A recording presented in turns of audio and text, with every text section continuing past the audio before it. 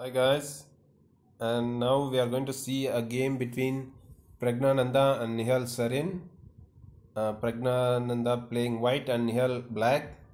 And the game goes d4, knight f6, c4, g6, knight c3, d5, c takes d5, knight takes d5, e4, knight takes c3, b takes c3, and now bishop g7, bishop to c4, castle shot and knight e2, knight c6 castle shot b6 bishop to g5 bishop to b7 bishop to d3 and queen d7 now queen to d2 e5 d5 knight to e7 c4 rook a d8 and this is the Grunfeld defense guys.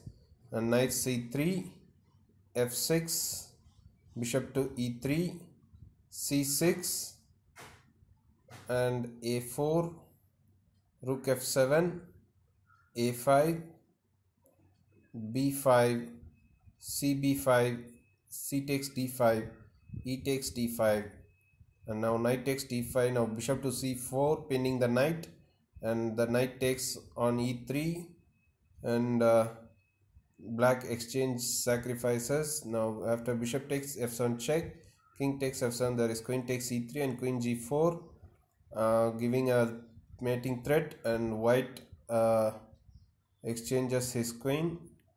After the exchange of queens now f5 now rook fd1 king e7 a6 i think uh, white nicely has a, a exchange up and also good passes in the queen side. Queen side majority and now knight a4 rook d6 rook takes d6 king takes d6 now b6 a b6 knight takes b6 bishop e4 and now rook c1 cutting off the king and bishop to f6 now rook c4 bishop to d8 now knight c8 check king d7 rook takes e4 and if at all the rook is taken the pawn will promote. So in the game he takes the knight. And now again rook b4 cutting off the king. Now bishop e7 a7 and bishop takes b4 and queen comes. And it is an easy win for black. So guys i hope you enjoyed the game. I'll be meeting you in the next game. Thank you all